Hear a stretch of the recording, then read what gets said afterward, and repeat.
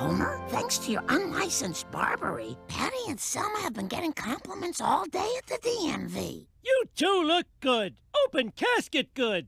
well,